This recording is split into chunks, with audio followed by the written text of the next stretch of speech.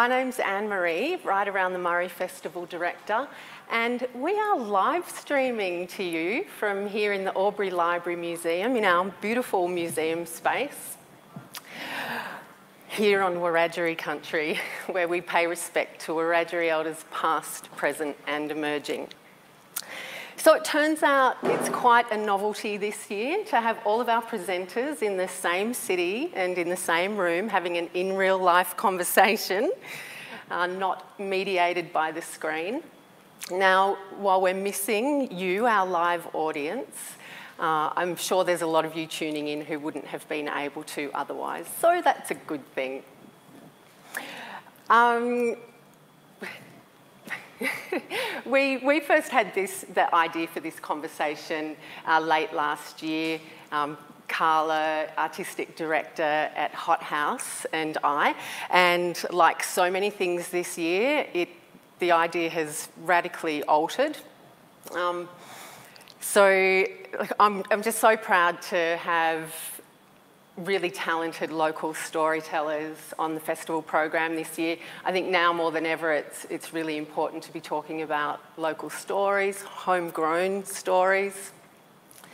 Um, so I'm just getting way too nervous in front of the camera, so I'm going to hand over to Karla um, to introduce our panellists um, who I've watched you know, alter their practice radically in the face of COVID. I have so much admiration for you.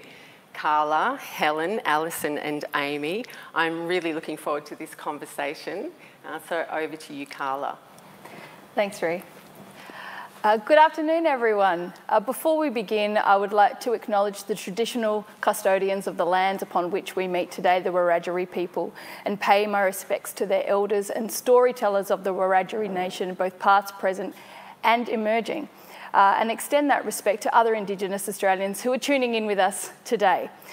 Diawit agus Cade Mila hello and welcome here to the Albury Library Museum um, and to you online tuning in for this year's Write Around the Murray Festival. My name is Karla Conway and I'm the Artistic Director of Hot House Theatre. Before we begin, um, just a little bit of housekeeping. If you are uh, watching us online and like to ask some questions throughout our conversation today, you can post those questions into the chat function and um, I will throw them over to the uh, artists as we talk today.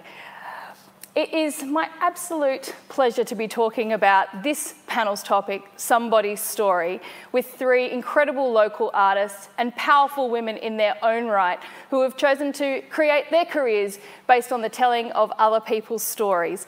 So uh, let me introduce writer, magazine editor, children's author, podcast, and content creator, Aimee Chan. Thanks, Karla uh, performer, theatre maker, and one of Australia's leading community artists working in cultural development for social change, Alyson Evans. Thanks, Karla. Great to be here. And award winning filmmaker, video artist, and visual storyteller, Helen Newman. Hi, thanks, Karla.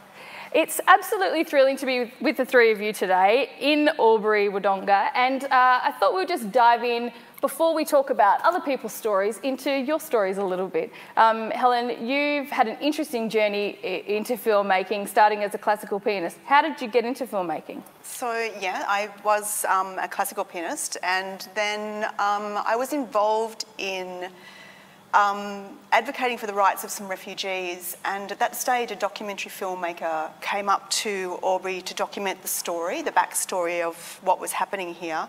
And I had become a character in that documentary as it slowly emerged and evolved. And at some point, I don't know when, I picked the camera up and I just went, oh my God, this is just the most incredible tool to give voice to people who can't be heard. So, yeah, from there I was just addicted, and that's how it happened. um, Aimee, you work in a lot of different mediums. Um, tell us, how did you get into a space where you preference the telling of other people's stories? Um, yeah, it's a strange thing. It's sort of evolved over time. I've always loved writing, even as a young child. That's what I wanted to be, was a writer. Um, went off, did law school, and came out and was a lawyer for a few years, and found that even that, the process of that was about telling other people's stories. You're trying to capture people's voice and then advocate for them in a legal space. And so that's sort of where I've always gravitated towards. Um, I did several years in magazines, and again, my favourite part of that job was always the interviews. The writing, the fashion stories, and the beauty stories never really interested me. It was sitting down and speaking to other people and capturing their stories. So I'm very interested in that process of giving voice, as Helen said, to people who can't necessarily express themselves or don't have a public platform with which to do it, um, and finding that right medium to really represent the other person's story. Hmm. Alyson, um, as a performer and a theatre maker, um, you've taken a long journey from Wales to Darwin to Albury Wodonga. Tell us how that journey came about and what led you specifically into community arts.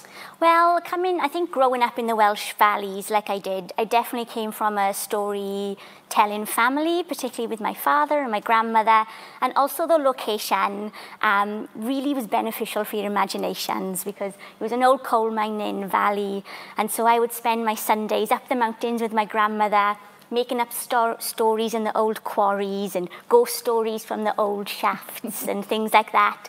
Um, and then I became really interested in the world and what was out there because we were quite in a small bubble really. And so did a bit of travel and became really interested in people's stories. And I think then as an adult, realizing that I was kind of going in towards community arts uh, practice, that as a child growing up in those valleys, I really benefited from community arts, even though I didn't realise that was what I was participating in, mm. and how much that had such a great benefit on my life. Um, because it gave me a platform to share my own story. So I wanted to do that for others and was really interested in different stories. Um, and so came to Darwin to work um, up there and worked a lot in remote Indigenous communities, thought I was coming for one year, and 10 years later, still here. um, I want to throw it open to the three of you. What brings you to a story? What, what, what makes something trigger in your own mind that says, ah, I, here's a space that I think I need to enter? For me, I think it's just having conversations with people and maybe different kind of um, service providers or organisations as well. I really enjoy um, helping people realise that they actually they have a story, no matter who you are, where you're from, what your background is. There's always something really interesting, and just through simple conversation, going, "Oh, that sounds good. Let's go down that route. Let's find out more." Um, Helen, you know, in a documentary filmmaking sense, what makes a great subject? What, what makes a, a, you go where you say, here's a person whose story I feel like I really need to take carriage of? Yeah. I think it's a couple of things, and it's the, the, micro of that that individual and the story that they have to tell, but where that is set in in a universal way that will resonate with an audience. Mm. So, um, yeah, meeting someone who can tell their story, who has a very layered, rich story to tell, but um, there will be elements in that story that I'll see will resonate with many other people. So it becomes their story that connects to many other people's stories. I, I guess that's often my interest when, mm. I'm, when I'm looking at doing a documentary. Yeah. Aimee, somewhat similar um, for you, you work often with um, either subjects or, you know, in some of your non-fiction working clients who um, come to you with a story um, and, and you were sharing with me earlier that sometimes that's not the story. Yeah, how, how, do you, how do you undertake that process uh, with a subject or with a client to determine what the story is that you think needs to be told? I think a lot of it for me is about time. So you need to build rapport with the subject, you need to spend time with them, get to know them, find out who they are, and then that's where you find the story. So for me, the story is often in the unexpected. So, as an example, Helen and I have worked together for several years. I had no idea she was a classical pianist. So, that's something that's really interesting to me. So, um, I guess the story that I told you about was when I was doing some client work, they wanted me to write a story about promoting a new playground that had been architecturally designed. It was all cutting edge, lots of sensory elements. And as I was writing this story, I kept thinking, this is not an interesting story. Nobody cares about the playground, who the architect is. This is not interesting. And right at the end, after we'd published it, the um, architecture firm and the PR firm who had designed this very, very expensive playground just said off the cuff to me, oh, and it glows in the dark. And I was like, well, that was the story. that was the story, but it was too late. So it is a lot about time for me, having that time and investment, and really spending time to get to know who it is you're writing the story about to find the story. Alyson, when you come into a, a, a new community or a, a, cultural group or, you know, with some of your work up in, in Northern Territory, uh, what do you think needs to be in place to enable the people within that community to open up to you, um, particularly when you are new into that, into that community? Uh, how, how, what are the conditions that need to be created to enable them to actually open up to you and, and entrust you with their story? Yeah, I think kind of like what Aimee said, it's time. So not expecting to go in and within a few days or few weeks for people to build that trust.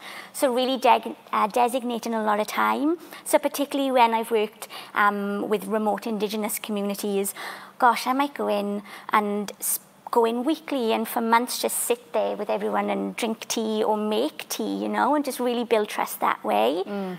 I think also be, being really open and sharing about myself too. It's not about, it's all about you. I want to take your stories. Um, definitely in Australia, I've found that being Welsh can be really beneficial because I feel like it gives me um, the opportunity to openly say, actually, I'm new here and I don't know. This is what it's like in my culture or in my language. What's it like for you? Mm. So that cultural sharing um, is always there from the beginning as well, which is what I think helps encourage people open up because there's a lot of similarities as well. Helen, when you do uh, documentaries that are historical, so you know you did it recently a beautiful piece now and then for Flying Fruit Fly yeah. Circus. Um, how do you look back over 40 years of an organisation and figure out how to tell its story? That's such a yeah. huge yeah story? How do you, how do you, how do you go from 40 years to 15 minutes or a 30 minute story? Yeah, it was huge. And I, I don't always want to do linear storytelling, but for that, it definitely was moving through the 40 years. So getting the voices of the people that were there right at the beginning and had those memories, and then just, yeah, just working my way through that. And I guess with documentary filmmaking, and particularly in this digital age, you can film so much content. And then it's about, I often say it's like killing your babies. You have to get rid of some of those stories and distill it down to the core messages that you're trying to tell and mm. then balance that as well with giving everyone enough of their own voice so that they're represented. So, yeah, it's an interesting, for me, the storytelling that I do is like weaving a, a, a rug. I just have these threads that I work through and sometimes they pop up and they disappear and a new thread comes in and it just is a, is a fine weave. Um, when you, oh, this is really for all three of you because I think it's, it's, sort of applicable across your practice, and it doesn't really matter what the medium is. But when you um, when you enter that relationship with um, with a person whose story, or, or a group, or a community, what are the inherent promises that you're making to them um, from the outset that um, enables them to trust you with the, some of those decisions. Um, and, you know, to take, uh, what does that responsibility feel like when you engage in that relationship?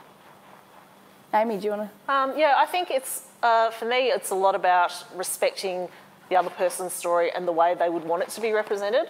So maybe the person might have told you the story, as an example, in a linear fashion, but you think that it would be told better, sort of jumping backwards and forwards and all over the place but the essence of the story is still the way that they would want it to be represented. So I think a lot of that trust building at that stage when you are encouraging them to open up, and Alyson's quite right, sharing stories about yourself with them and how, you know, I'm nervous about this too, I'm nervous about this process, I want to make sure that I protect the integrity of your story.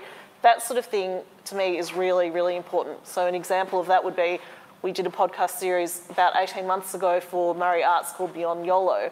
And the very first episode I recorded was with an 18 year old local Wodonga girl who had been through a really traumatic time. Um, parents were drug users, there was prostitution, there was abuse, there was a whole lot of really terrible things that had happened to this girl.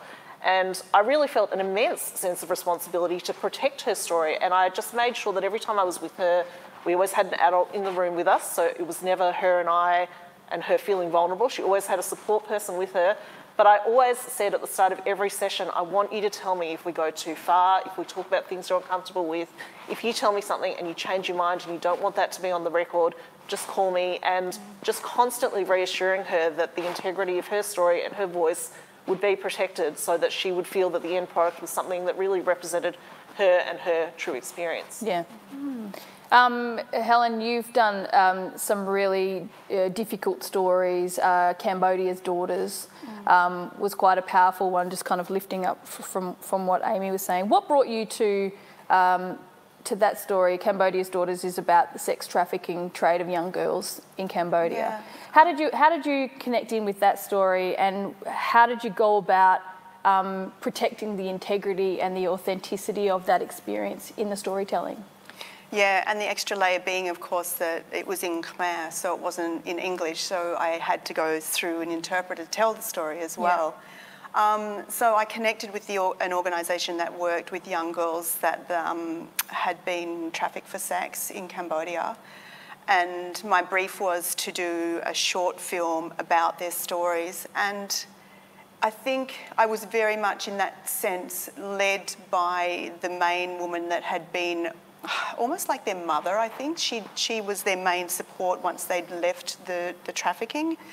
So in that, in that instance, she led me about how much could be shared, what questions could be asked. So it was quite different to, say, um, other documentaries and even the documentary I'm working on now about survivors of suicide, where I'm making the same decisions about I'm going to honour your story. Um, I'm going to make sure that along the way we check in. If it's not okay, I don't want to go too far. It, it needs to be something that when that person sees it at the end of it, they go, Yes, that's me. I recognise myself there. That's, that's honest and true. So yeah, it's a it's a little bit of a movement, and along the way also, you know, if I create something and it doesn't feel right, I always show it to my my characters. I call them. I don't really know what to call them. They're people, um, and check that they're okay before it goes out to the rest of the world. So well. there's a fair bit of back and forth. It's- Absolutely. Yeah. Yeah. Yeah. Alyson, um, has there ever been a time where uh, you've gone through this process and it's just really derailed or gone wrong for you? Um, I think not so much gone really wrong in terms of like what Helen and Aimee saying around that collaboration, and that's the way I definitely try and approach it. And because what I'm doing with these stories is making theatre, um, it's very much a large involvement in that the performers are often the people whose stories it is. Um, so it hasn't gone horribly wrong. I think the most difficult times has been when, say, a service provider or someone, an organisation has brought me in to work with a specific community, but they have ideas as to what they want the content to be versus what the community want it to be. And something I try and make really clear if I'm ever working with an organisation, that it's the community members who come first, um, and I will never push an agenda on them. And so sometimes those relationships can be a bit difficult between myself and the service providers in, um, yeah, coming about that understanding of, um, I suppose I'm working with real people's stories and I'm going to honour that. Do you find that with the service providers in opening that dialogue when the agenda that they had is not actually materialising in the way that they anticipated, um, that they do recognise that maybe their perspective is not right, is not Um, yeah, it can accurate to what, what's really at play? Yeah, and I suppose often with larger organisations like health um, organisations and you know things like that, um, kind of the level who I'm working with recognise it, but when you go up, up, up to who I don't know are funding it and things, they have a much more structured way of working. So for Obviously, they're trying to tick boxes. trying to they? tick boxes and um, so for me it's about trying to bring the organisation into the work into the workshops to actually be really connecting with the community to see this is what the community needs In a way, as an artist, you do have a, a really rich opportunity while you're telling that story. And that's a process that you're undertaking with your subject or with your community or the group. That there, there is also this bridging role that, that is occurring between, um, between that community and an audience or an organisation or government or council. Do you know what I mean? So how, do, how have you found, um, Aimee, uh, becoming the bridge? You know, how, how have you found that's manifested in your work? Yeah, that's a really, Alyson has really hit the nail on the head with that. It's a very complex um, relationship. And I would imagine Helen would be quite in a similar boat to me in that mm. storytelling is all very good and well, but you have to get paid. So there is always a third party who is involved in the process because they're either funding your project or they're the publisher of the magazine or they have somehow given you a grant for which you are doing this project. And so it, trying to balance those interests can be really difficult. And I find that that's where when you make those promises to your interview subjects about that I'm going to protect your story, I'm going to protect the things that we have agreed between us will or will not be put out into the public space, you really have to be prepared to go in and sometimes there is a bit of conflict to battle for those sorts of things. So for me, I'm the same as Helen in that I will always show my subjects what is about to go out in the public space, particularly if it's very sensitive ahead of time. But then I really try to make sure that I have really tight control over everything so that every step of the way, so an example would be when I was in magazines, I interviewed a filmmaker who was very famous in Singapore where I was living at that time. He'd had a very serious accident, become a quadriplegic, and become a recluse. And so he had agreed to share his story with me, but I was very aware it was the first time it was going into the public space. He was a public figure and he was very, very sensitive about it. So the magazine that I was working for at the time wanted to put on the front cover a picture of a truck to indicate that he'd been hit by a truck and made a quadriplegic.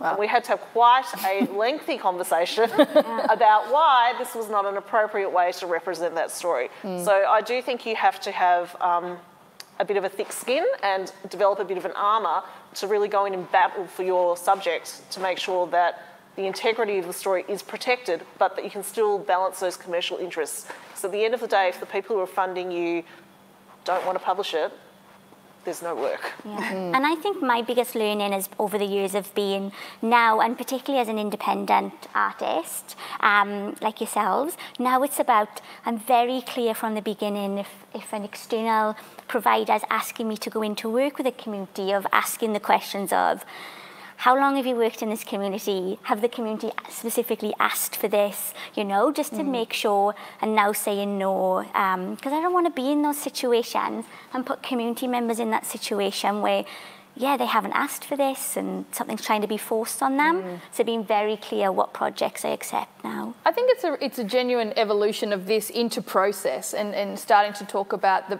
the, the different processes that you have, um, primarily working in screen, primarily working in theatre, but um, for you, Aimee, working really across a whole different range of mediums. How, um, Helen, I might start with you. Um, talk to me a little bit about your process from when you've been, um, been asked to create either commissioned to make a work or something that you're initiating yourself. What are, what are the processes that you go through? Um, so once, once I've decided that I think that I would like to be part of that project, um, I would then research, research, research, research the story behind it, everything that I can find out about it to see if it's still a good fit with, um, with what I think it's going to be, if it's still what I think it is. Um, and then, yeah, it's just communication then, and definitely communicating the whole way along. If I'm commissioned to do something, I'm just like emailing, CCing all the time, letting them have attending meetings, making sure that there's a really good open communication, and same with the characters or the people that I'm working with as mm-hmm. well. So I think it's about it's about communication and also yeah, and time as well, giving it time. And how do you go about um, starting to collect? The film footage. A lot of your work has not just been in Australia, but is, has been internationally too. Yeah. Can you talk to me a little bit about um, your journey to Afghanistan and um, how you went about navigating the, the, the, the cultural challenges of gathering video material in another country? Yeah, so um, a few of the overseas shoots, I would I would have a family or individuals that are there that are connected, particularly going into dangerous situations like that. Um, I always had a connection on the ground, mm-hmm. so that I mean, it's it's so often the characters or people who are connected to the communities that that would be my way in, um, and then I've actually forgotten the question. Well, just asking, you know, what is the process that you go through in order to kind of gather the footage and the interviews and the materials that you need, particularly when there's those cultural cultural differences or challenges internationally? Yeah, yeah. So yeah, it is that it's that personal connection that I already have. So an example is that. Um, I'd been filming a story of a family that had been in detention here in Australia for four and a half years, and I'd visited them probably once, once every month during that time, seeing their children grow up. And when um, the US um, invaded Iraq, soon after that, they were forcibly returned back to Iraq because it was meant to be a safe country. So, this relationship and story that I was telling about this family in detention in Australia suddenly was in Iraq. And, but, but they were my connection. So, you know, when I got to Iraq, it was their son that met us on the border and he, he drove us into their family home. So it, it very much for me, it is the story, I'm just following the lead. Like I actually never meant to go to Iraq. I wasn't, didn't want to go to Iraq, but that's where the story went. And I think same with Afghanistan. I didn't plan to go there, but I was telling people stories and that was where the story ended up. So that was where I went. Yeah. Alyson, how, how do you um, how do you do a similar thing? How do you engage in, in, in the process of gathering the materials um, that are required to piece together a work that you want to present for a public showing? Very much through uh, workshopping and just down to kind of core drama workshops, really. Um, I particularly work with a methodology titled it's got a very ominous name of Theatre of the Oppressed, which people are often quite scared of, um, by Augusto Boal. But it's very much about working with community members who are non-actors and how to engage them. And it is not about um, training to be a performer or on TV or anything, but it's how to use creative um, methodologies to help share stories. So, for example, a lot of the work that I do um, with culturally and linguistically diverse communities, so things like image theatre, which is instead instead of telling me about your life growing up, can you use your body to create some still images, create a picture with our bodies of what dinner time looked like as a child, and I'll be your mother, and these can be your siblings is a much easier way to communicate rather than having to communicate through English or with a translator. So using those basic drama methods just really start eking out different types of stories. And you were telling me about um, uh, an international residency that you took up in Cambodia. Uh, where you were using forum theatre. So, forum theatre is um, another uh, methodology of Augusto Boal's and a way of um, for communities to face an oppressive situation or a conflict that they're experiencing within their communities. Talk to me about how your plans um, using this forum theatre were derailed. Yes, so I was working with a group of art therapists and an awareness theatre troupe um, in Battambang in Cambodia. And we were creating some forum theatre plays, some small performances that reflected the experiences of the community members they were working with. Um, it was all done through a translator, Helen, so as you know how difficult that could be. Um, and one of the performances that they created, which they said they often face, was with um, a woman with a small child and her husband was having an affair and spending all the money on this other woman and assaulting his wife. Um, so they, with forum theatre, you present the problem, you don't solve it like traditional storytelling, because you offer that out to the community to work on, um, who are the audience members. Um, and during this training process, their final scene was that they, the husband divorced the wife. And so the through the translator, I was trying to say, we need to cut that scene because that kind of solves, you know, it kind of solves something because it separates them. They didn't want to. I was thinking, gosh, the trans, am I not translate? How am I communicating this? Mm. And then when it came to performing it to the community, where there was a few hundred people there, I was facilitating the discussion through a translator, and that's when I realized the problem was actually the fact that the husband was wanting to um, divorce the wife because that had much more severe consequences in Cambodia to be a single woman with a child. And so the kind of on stage in front of a community, I had this big realization of, of course, it's a massive cultural difference. And it was my first experience facilitating a discussion to try and solve a problem at a point at which, in my very privileged upbringing, I completely disagreed with. But it's not my culture, it's not my community. And I could only do as I could as a facilitator to try and help the situation as an external person. Um, it's a really good segue to a question that we've got from our viewer. So, hello, Nat Ord, lovely to see you. um, uh, Nat asks Empathy is obviously a key trait needed for strong storytelling. Uh, for telling stories with trauma, how do you remain empathetic without taking on that emotional trauma? And how do you look after your own mental health? Mm. How, maybe. Um, yeah, sure.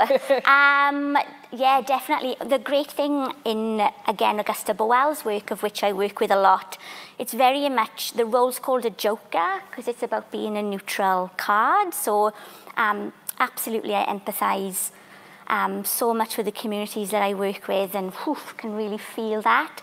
But also, really remember that I'm a neutral card that as a facilitator to bring my skill as a theatre maker to help put their stories out into the world so that them stories are shared. Mm. Um, definitely it can be really difficult, as we would all be aware, working from in prisons and people from refugee backgrounds. Um, for me, seeing a psychologist is really important and one that has experience in the arts, in, in those type of um, settings, just to be able to offload and look at how do I safeguard myself. Mm. And I would add to that too around the supports is also friends who yes. get it, mm-hmm. people who understand that you can also you don't have to unpackage what, what it is, you can share with them. So another good support mechanism yes. is that. But it's I think for me, like certainly I, I film a lot of trauma, but there's such a sense of honour in people sharing and trusting me that in some ways that mitigates the trauma that I could take on. Right. If that makes sense? Yeah. yeah. Aimee, talk to me about our first responders. This is a project, um, sort of a multidisciplinary project that you've been uh, curating. Um, can you talk to us a little bit about our first responders and um, how you decided what mediums to tell that story in? And we'll talk a little bit about well-being in there too. Sure. So I wanted to do something around the bushfire crisis from this year and at the end of last year.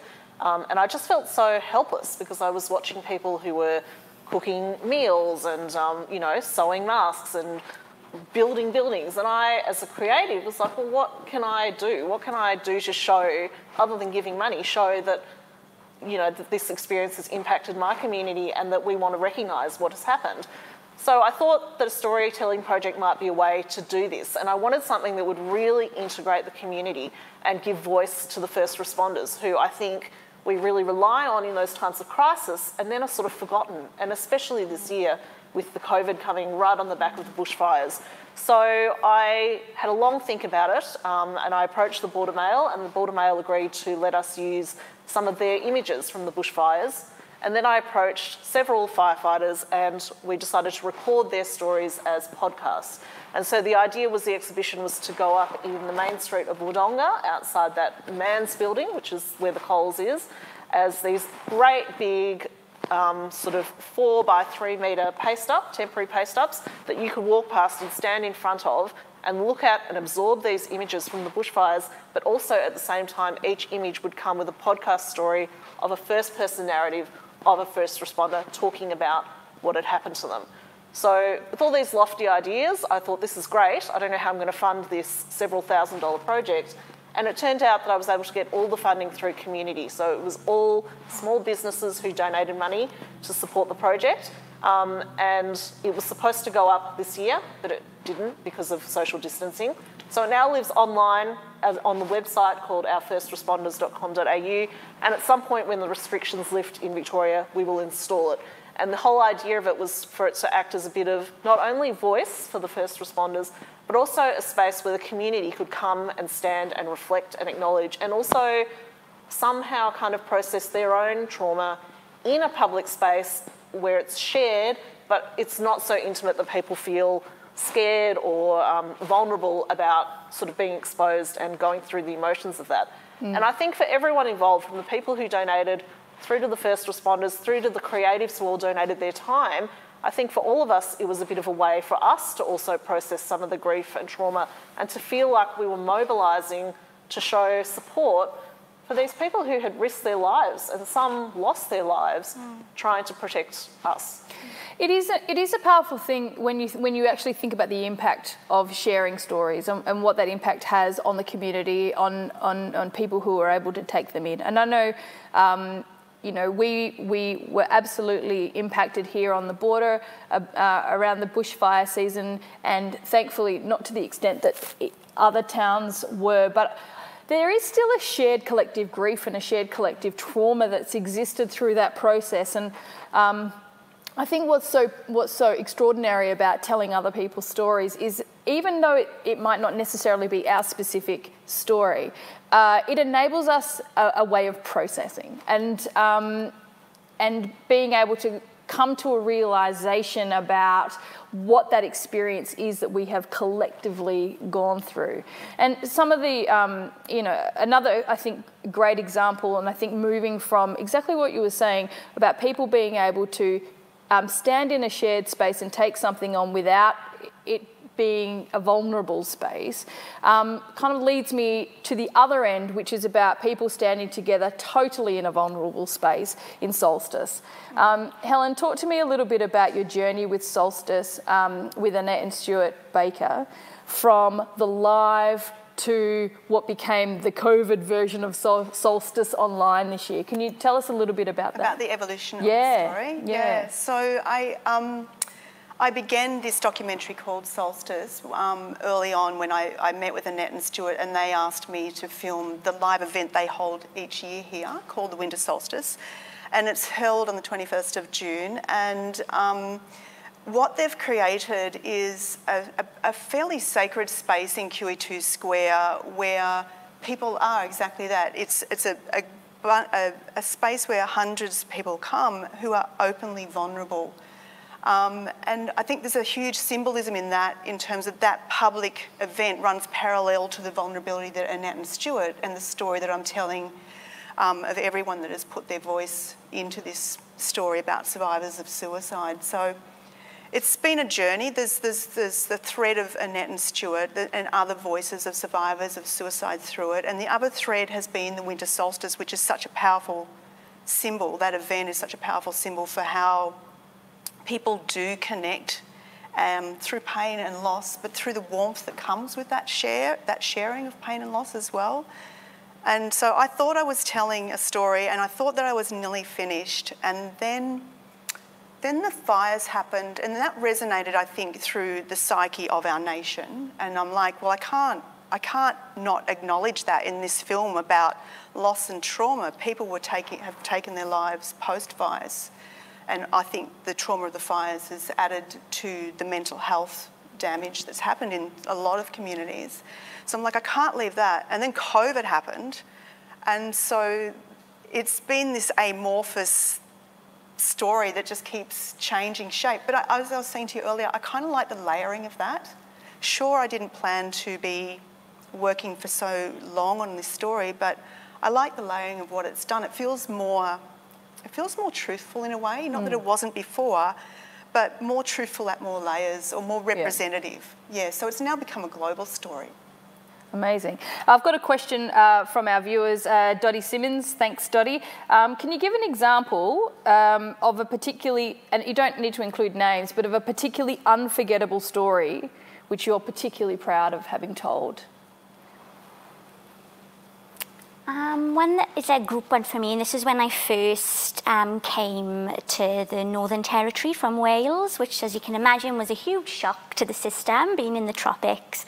Um, and that first year, I would spend every week flying out to the Tiwi Islands um, and working with a group of young people out there, young women. And what happened was, over two years, we ended up creating a performance together, looking at um, young women's lives on the Tiwi Islands now and across um, all different times in history. Um, and this year-long, well, two-year-long process was really big. And what it meant was the young women went and met with um, elders and found out new informations and new songs and dances that they didn't know before. And we put all that into a performance that they then performed. And it was a really fantastic thing just to see these young women get really inspired about sharing their culture and their story to younger, um, to younger children. And to me, that really stands out um, because it was my first time coming from Wales where I was in a whole new culture and space that I had no idea about. Um, but yeah, I could share and use my skills of how to kind of put that together into a performance. So it was a real collaboration and a really positive one. And passing on that intergenerational knowledge too, I think. What a privilege. Mm-hmm. Aimee, do you have a, a, a, story that for you that's a particularly unforgettable one? Yeah, so I've got a podcast series called Kids Pod, which is primary school kids asking adults the questions they want to know. Um, and so the whole concept is nothing is too rude to ask. They can ask whatever they want. It's open slather. And so we did an interview with a lady by the name of Stacey Title, who has been affected by ALS. Um, and I don't know if anyone knows very much about that, but that has really robbed her of her life. It has taken mm. all her movement, um, all her speech. The only movement she can do is sometimes she can move one of her eyes, and that's it. So she has to be fed, she has to be cleaned. This fully grown, independent woman with grown children has lost everything. So we did a podcast episode with her and her husband. So as you can imagine, she can't speak. So the bulk of the questions were answered by her husband.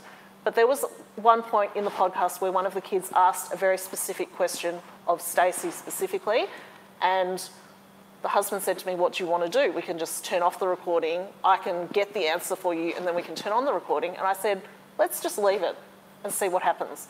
So we recorded it in real time of him saying, going through every letter of the alphabet, trying to decipher which letter of the alphabet for each, you know, part of the word that she was trying to say.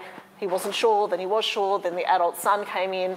And he goes on for about, I think it's about two minutes of this backwards and forwards. And I published the episode like that, as is. And I'm really proud of that. I'm really proud that she in that kind of a state was still able to have some sort of a voice on an audio platform. So it's not even visual. The kids can't even see her. They're just listening to this process of this woman who has no voice finding her voice again. And that's amazing. something that will stay with me for a very long time. Yeah, amazing.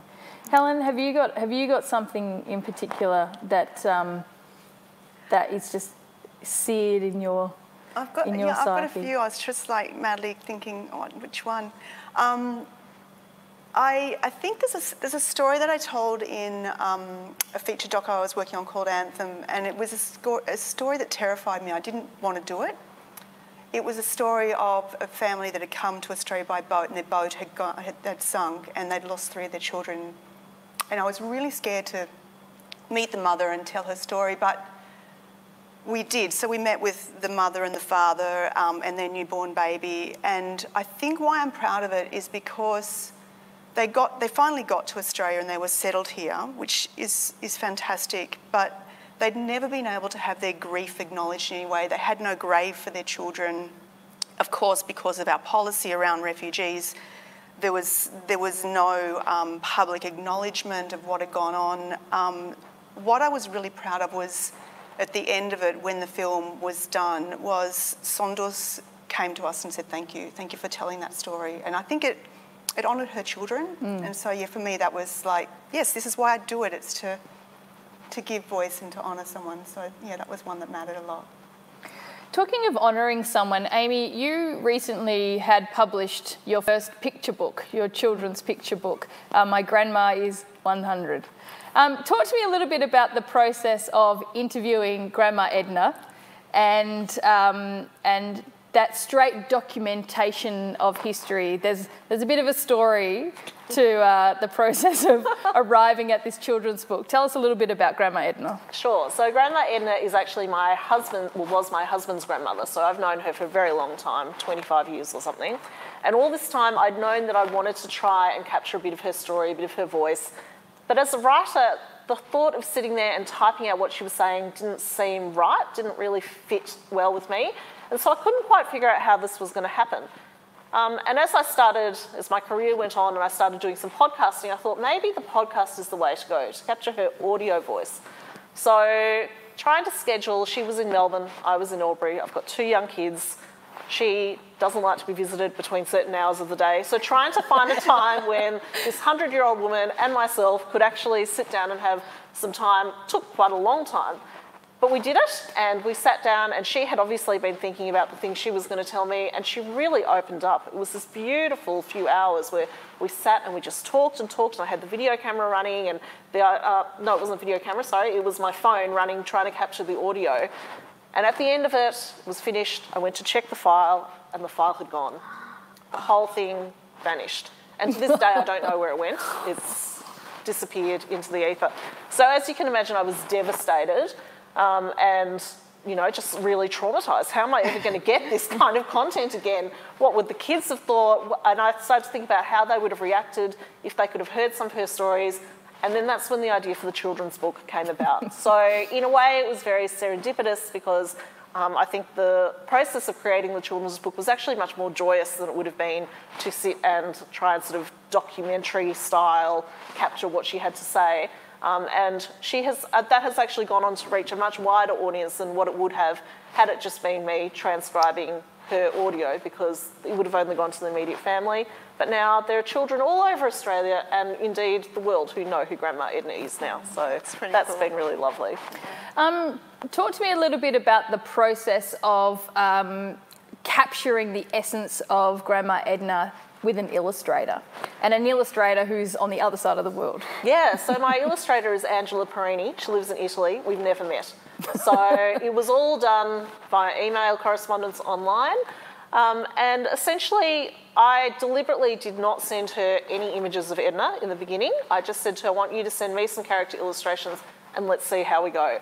And I think she really captured the essence of who Edna was. Um, you know, always very cheerful, always very upbeat that kind of generation, they never talked about this was the highlight of my life, this was the low light of my life. They didn't see life that way. Life was just life. And, you know, you're born, you go to school, you get married, you have your own children, and that's how it was. And so I felt that she really captured that sense of that generation and the positivity and the we just take every day at a time and we don't look at things in that kind of dramatic way that I suppose we do now of positives and negatives. Life is just as it is. And I think I was really lucky to stumble on into an illustrator who was able to capture her so beautifully, having never met me, never met Edna, never seen any images of Edna, and she still, I think, really captured her brilliantly. Um, we have a question from 10 year old Cecilia Burke say, who, who asks, Where do you get story ideas from? So you've got all, the, all, all this interview material, um, but where did you get the idea of the birthday party, for example? Um, I guess because when I decided that I wanted to, when I was sort of thinking about how the kids would have reacted, could they have heard Edna's story, I started to hear a child's voice. So then I just tried to sort of write down what from a child's perspective, is interesting about turning 100 years old. So obviously, birthday parties are a huge milestone for children in that age group who read picture books. Birthday parties, the cake, the presents, the candles. And so that then just naturally became a story about the birthday party because that number 100 is just so massive when you're four, five, six, seven years old. and then to think about would you have 100 people? Would you have 100 candles? Um, kind of just very nicely encapsulated that idea. Um, Alyson, talk to us a little bit about um, uh, the social impact of your process. Uh, there was a beautiful project you did in, in Rozelle in Sydney called Connect with Red Door Arts. Talk to us a little bit about Connect and the impact that that process had on the community that it, that it, it was made for. Yeah, that was a project that started out um, small and then just developed into this huge thing. Um, so whilst I was Arts Access and Development Manager at Red Door Arts, um, we had um, a service provider again come to us to say, can you make some educational films about access and the issues of access within the communities for people with disabilities? I was like, oh gosh, there's so many of these films out there that's not very interesting. Who even watches them? What can we do? Um, and so what we did is um, myself and um, artist Emily Dash is we then said, right, come on, let's make a theatre show if they want us to think about access in the community, then let's do it out in the community. And so the result was an immersive theatre performance where the audience members were led around Rozelle um, by writer and performer Emily Dash, who's also in a wheelchair, so they got to experience firsthand the difficulty that Emily faces day to day. We also included all of the participants who attend Red Door Arts programs, from uh, senior um, people, community members with intellectual disability, to young performers, to a special education school unit. Um, and this performance took place all around Rozelle, and we went and spoke to local businesses as well. And we found out stories such as um, one of our ensemble members, she always goes to the fruit shop and always gets given some free juice. Um, and I said, oh, can you take me and um, introduce them? And so this ensemble member with um, Down syndrome took me to the shop. She was so comfortable in there. They loved her. There was this great friendship. And from speaking to them, I found out that actually um, it was a family-run business and their eldest son, who's now an adult, um, has severe autism and lives in a care home for that. Um, and so we ended up interviewing this family and our audiences got taken to the shop, got given free juice, whilst listening to this um, story. Um, and in it, one of the family members said, for us, we just really hope that um, my brother, when he's in the community, that he's treated the way that we, we do the same. Mm. And I just remember a moment where um, we were in there with all these community members, all dr audience, drinking their juice, and the mum was there from the shop, and the son who spoke gave her the headset and her just crying into his arms as she listened to this story. So it had a huge impact on the whole community mm. who came on board and got to experience it. Um, the Solstice Project is, is obviously, um, it is multi-layered. It is a big community event here in Albury-Wodonga. The, the impact of, uh, of the winter solstice organisation and event is starting to really grow mm. internationally, and then the documentary is giving it another layer and another voice again. What are the impacts that you've observed over your time with Solstice um, that, are, that are, positive? Oh, yeah. Um, giving voice, absolutely. Mm. Giving, um, like I just described before, that safe space in QE2 Square for our local community and people who travel to it. Like, people travel from Melbourne for the winter solstice. They it's so, to, that physical event is so incredibly unique. There's nothing like it mm. anywhere else. Um, and this year, because of COVID, we, um, we actually did a virtual online event. So we were in a studio in Melbourne. We'd pre-recorded a lot of the, um, the content beforehand. And so suddenly that intimate space was in the virtual space and mm. there were people watching from around the world. So I think, and, and again, there was just such, from the comments, I got a sense, such a hunger for connection, mm. for a space where you're understood um, around, you know, that, that really scary S word that people don't like to say. So mm. um, there's again, I've forgotten your question. I'm sorry. Well, what, what, what's the impact that you've observed? Yeah, so the impact. It, yeah? yeah? the impact is it's creating change. It's and it's yeah. and I think it's also saving lives. Um, in, in, terms, yeah, in terms of the layers that are happening and the ripple effects that are happening from this, there's conversations being started. There's people bravely stepping out where they wouldn't have done before. Mm. There's a mm. change in consciousness as well. Um, yeah, it's it's pretty incredible what we have. So it's certainly story worthy. Yeah. yeah. Aimee, um, a project of yours that we haven't spoken about that you were involved in is Women of the River. Um, talk to me about the the impact that Women of the River has had on the four uh, artists that you worked with. Uh, yeah, I think it's been really an amazing kind of revelation for everyone involved. I think the women that were profiled um, were across the board very surprised, number one, that I would want to profile them. like somebody said earlier, everyone thinks they don't have a story and yet they do. So to then see themselves sort of blown up into these sort of three, four metre high images on the sides of public spaces that you can see walking down the street, driving past in your car, with their personal story written about them, I think was extremely um, flattering, and I think they felt really not not honoured, but certainly like somebody acknowledged Same. them and their story and recognised their existence. And I think that sense of acknowledging these women in our society who are often the unsung heroes, who are often the ones in the background doing all the hard work, not necessarily getting the glory and the public exposure.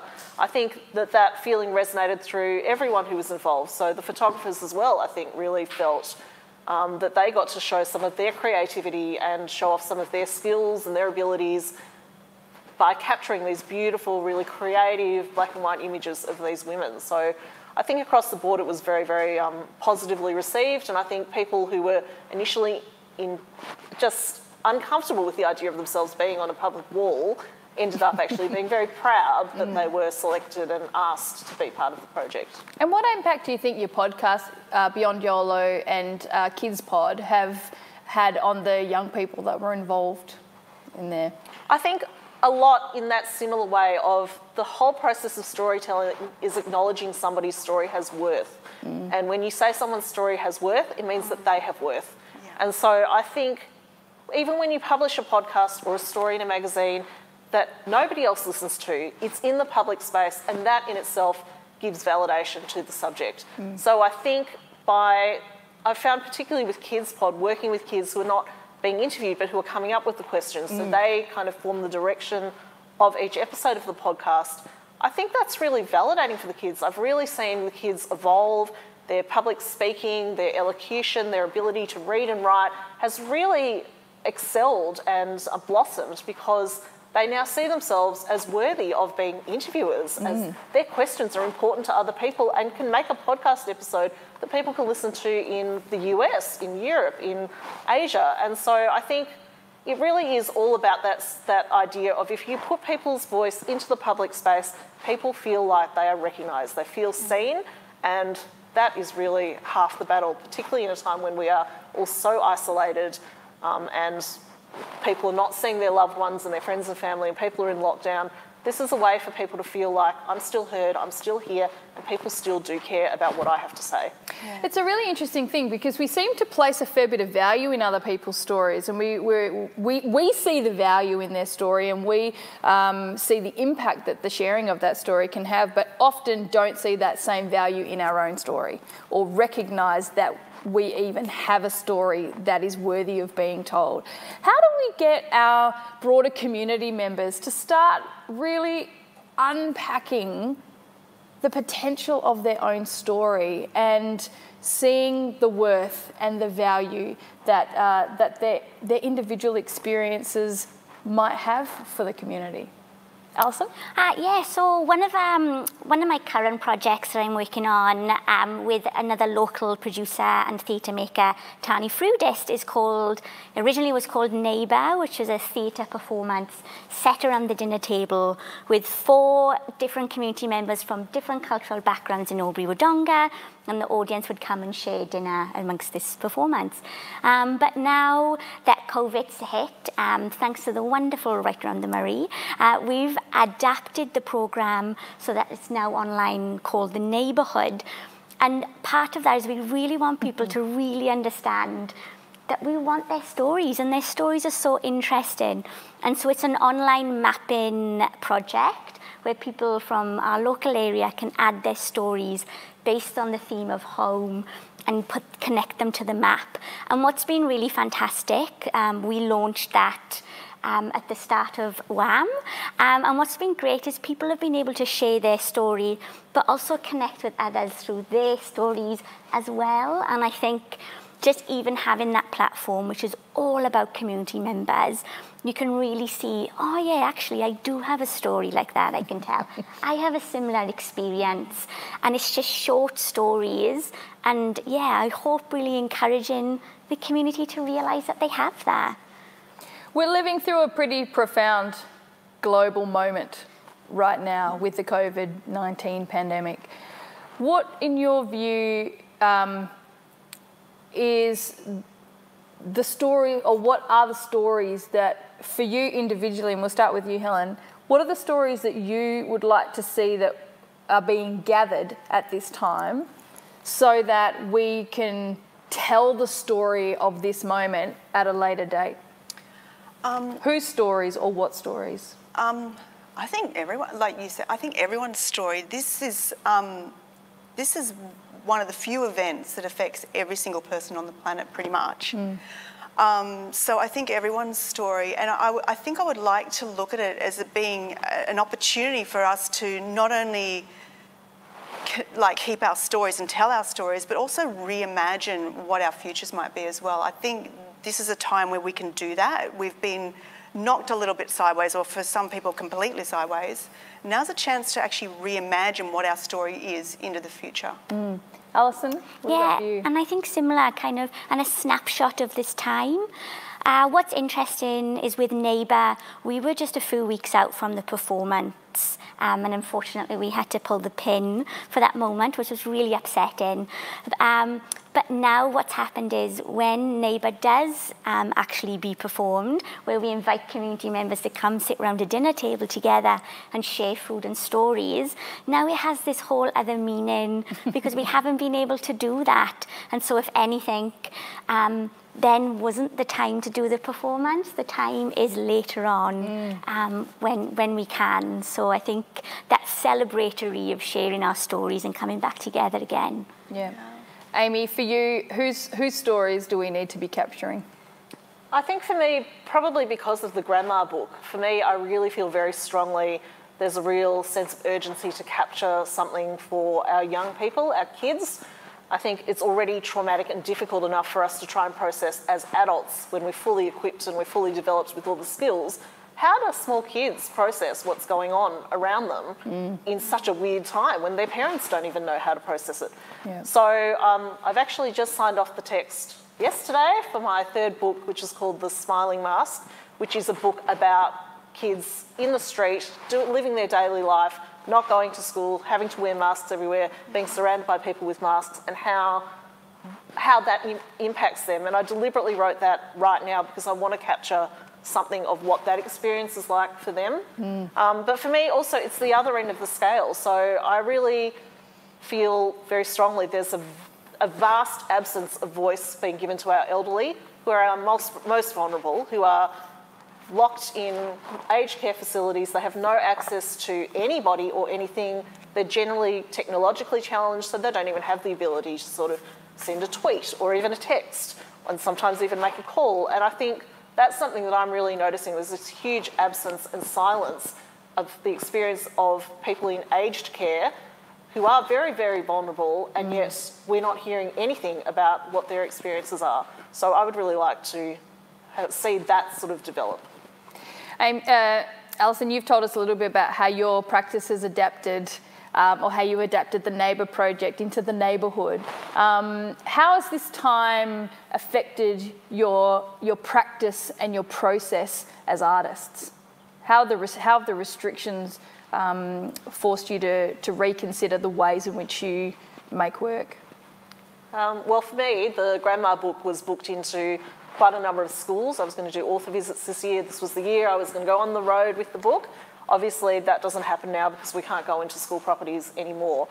So I had a long think about what to do with the book. Um, you know, the book was just starting to take off, all the sales ground to a halt. So I've done a complete backflip with that. And so I created a GoFundMe page and essentially used the money from the GoFundMe to make a special storytime video with um, 15 kids in Albury who all read a page from the book to camera and we made it into a little storytime video and I now have that living on GoFundMe and when people donate I send a hard copy of the book plus that storytime out to aged care facilities so that our elderly can have some sort of contact with young people because they're not seeing their grandkids, mm. they're not getting visitors, mm. they're not seeing anyone from the outside world. The other thing I found for me was I had to change a lot of the way that I work around storytelling. So I had to teach myself how to do the technical soundscaping part of podcasting. Mm. I knew how to do the storytelling part, I never knew how to do the technical part.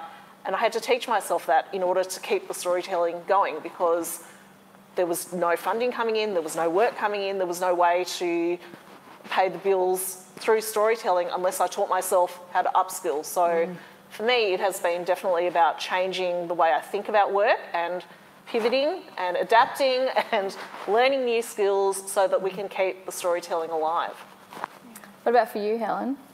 Um, yeah, I think for me, because uh, uh, my storytelling relies on those those long moments sitting with someone, and I can't travel to do that with um, as this story's evolved. So I'm kind of outsourcing some of the filming to other people. Like I've contracted someone to film a character in the UK that I was actually meant to be going um, in April to film. So it's, it's working in different ways, finding workarounds. That word pivot I use quite a bit. Sometimes I hate that word. Mm.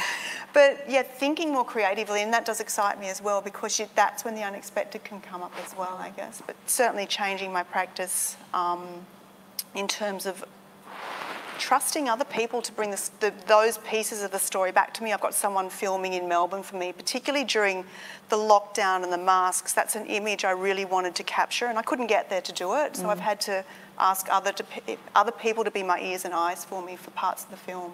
What are you looking forward to as we come out of this period? Oh, wow. Um, I feel so lucky being here on the border that I don't feel like I've been hugely impacted in a lot of ways. Mm. I think seeing seeing my children. Yeah. What are you looking forward to, Alyson? Oh, live performance I cannot for an audience. Um, particularly, um, the majority of my work now is in immersive theatre, so immersing audiences into performances. So essentially, um, the work isn't complete until the audience are there and part of it. And so I'm really, really excited, or excited to be able to do that again. Great. Aimee, what are you looking forward to? Definitely live theatre. I miss live theatre and live performance in general, music and all of those sorts of things. Um, and I guess for me, I've got a niece who turns one in about a week or so, and I haven't been able to see her for months and months. Just yeah. I need to smooch her little face. yeah. I probably should say my family as everyone else has, and I just didn't mention that. Going to Wales and seeing my family. Yeah, me too. Can't wait to see my family as well soon. Well, I think that brings us to the end of our time here today. It's been absolutely thrilling. Thank you so much, Aimee Chan, Alyson Evans, Helen Newman for joining us today. And if you want to find out a little bit more about uh, the story time for aged care, you can check out the GoFundMe page at aimeechan.com. Um, you can look at the Neighbourhood Project on Facebook and uh, check out Helen Newman's Solstice documentary on her website. Um, I want to thank you for being with us this afternoon and uh, for sending in your questions. It's been uh, an absolute treat to be here at the Albury Library Museum for this year's Write Around the Murray Festival online. Uh, we've got a full slate of programming still coming up, so go to the writearoundthemurray.org.au website and uh, check out the programming that's coming up next. It's all free, um, so there's plenty for you to get involved in, and you can fill out an online survey and go into a draw to win uh, six titles from the festival in a, in a pretty dashing WAM uh, tote bag. Um, it, it's been my absolute privilege and pleasure to be here this afternoon. My name is Karla Conway. Thanks for joining us and enjoy the rest of uh, the festival this year.